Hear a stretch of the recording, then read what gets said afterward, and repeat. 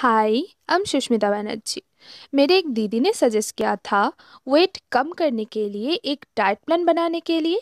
So thank you for suggesting the video दोस्तों, मैं भी पहले बहुत ज़्यादा मोटी थी, पर अब मैं पहले से पतली भी हूँ और एनर्जेटिक भी। और आप भी चाहो तो आप भी बन सकते हो, बस आपको एक अच्छा सा डाइट प्लान फॉलो करना पड़ेगा। उससे पहले मैं आपको बता देती हूँ कि पिछली बार मैंने एग्ज़ाम फोबिया के ऊपर एक वीडियो बनाई थी। अगर आपने वो अभी तक नहीं देखी तो आप जाके देख सकते हो। तो चलिए आज का वीडियो स्टार्ट करते हैं। Number one, morning drink. सुबह उठते ही आपको हल्का गर्म पानी या ग्रीन टी, जीरा टी टर्मरिक टी या नींबू टी पीना चाहिए।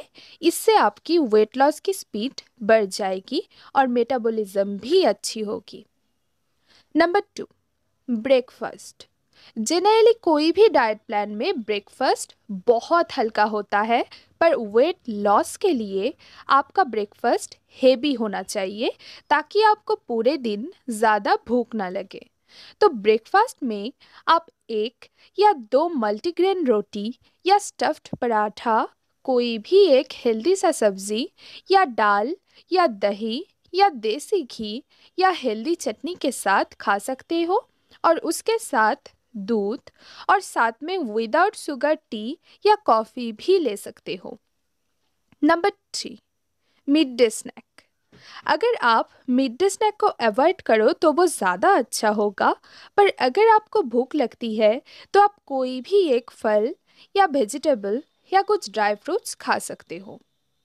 नंबर फोर लंच लंच में आप राइस कोई भी एक हेल्दी सा सब्ज़ी या दाल के साथ खा सकते हो, लेकिन ओवर ईटिंग मत करना।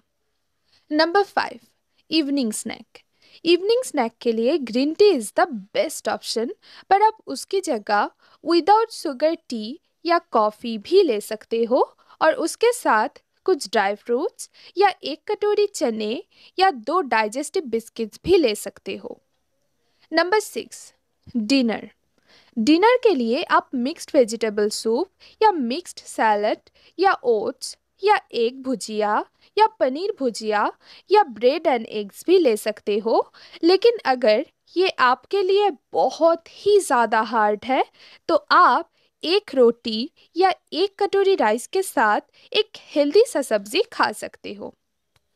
Number seven, before bed drink. एकदम सोने से पहले आप जीरा टी या लेमन टी या टर्मरिक टी ले सकते हो। उससे आपकी इम्यूनिटी भी स्ट्रांग रहती है और बाकी फ़ायदे तो आपको मैं पहले ही बता चुकी हूँ।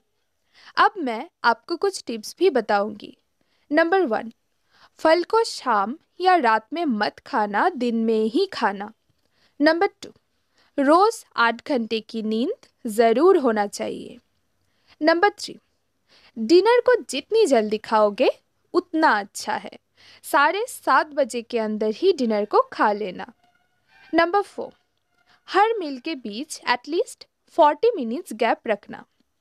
नंबर फाइव अगर आपको डाइट प्लान बहुत मुश्किल लगता है, आप कुछ भी खाना चाहते हो तो ज़्यादा से ज़्यादा एक्सरसाइज करना। तो दोस्तों, इस डाइट प्लान और टिप्स को फॉलो करने से आपकी वेट लॉस ज़रूर होगी। मोटा होने से एनर्जी चली जाती है। और सुंदर बॉडी तो सबको अच्छी लगती है। अगर आप भी डाइट प्लान को फॉलो करो तो ऐसी बॉडी आपको भी मिल सकती है। अगर आपको आज की वीडियो अच्छी लगी तो एक लाइक कमेंट शेयर और सब्सक्राइब कर देना। तो फिर मिलेंगे नेक्स्ट ट्यूजडे को। तब तक के लिए goodbye and lose some weight